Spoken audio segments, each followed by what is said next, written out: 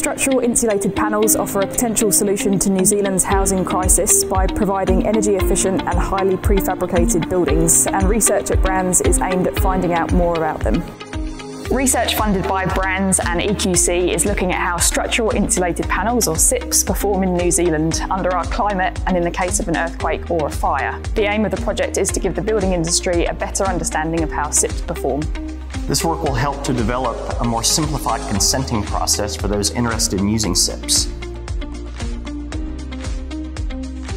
EQC is supporting the seismic workstream of this research because it aligns with our mission to build stronger homes on better land, not only to protect lives, but also to reduce the impact following earthquakes.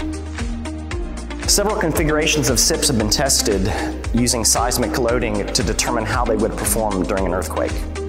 The key findings from the seismic resistance testing showed that the SIP systems tested had suitable ductility, strength, and stiffness to be able to resist the required earthquake loads from the New Zealand building codes.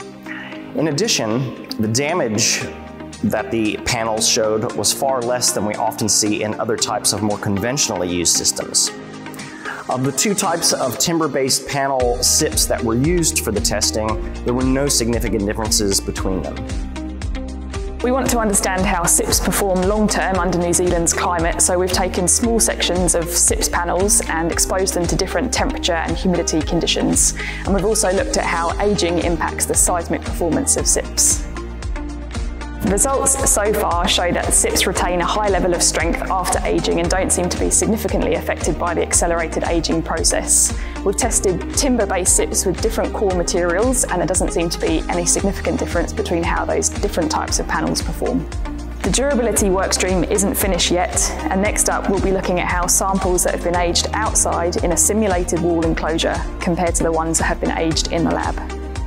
The fire performance workstream is seeking to understand how SIPs will perform in fire. This is going to be based on international and New Zealand literature around fire performance of SIPs. We're looking at the fire performance of materials that make up different types of SIPS panels, as well as how a whole SIPS building might perform in a fire. SIPs are already considered in some international building codes, and large-scale testing of their fire performance has been done in some countries, so we're looking to see what we can learn from that. The SIPS project with BRANZ is one of EQC's many collaborations with researchers to ensure that new innovations that help speed up building for New Zealand's housing market also meet the challenges of the New Zealand environment. The next step for this project with BRANZ and EQC is to ensure that the information and the results get into the hands of people who need it. This includes the construction industry and engineers who need to have confidence that the materials they're building with will keep New Zealanders safe. To find out how the research progresses, head over to the BRANZ website and stay tuned for a final video update later in the year.